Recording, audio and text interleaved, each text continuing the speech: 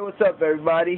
This is uh, Dark Ruler 1030 here, and uh, this is day 209 or something. I don't even know what day I'm on anymore. I just make videos and I post it up online.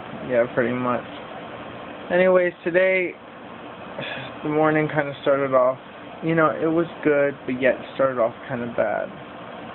I felt especially bad for Jose because we had to pack up. We started packing up like 10 days early than we're supposed to. So now, like, all the shit that I have is packed up in boxes.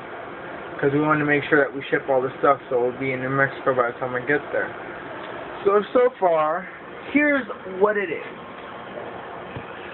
This is my suitcase, which we call in Spanish maleta.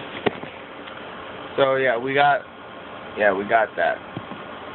Um, all this mess right here, that's actually stuff that's already packed. The stuff that's on top is stuff that's going to be packed. That book bag contains my systems.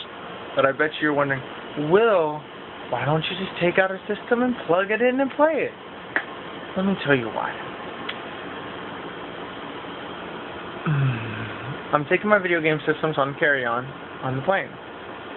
But there's a problem. Since everything has to be a fucking brick, I can't play it. It's sad, I know. I know. Anyways, guys, I gotta go.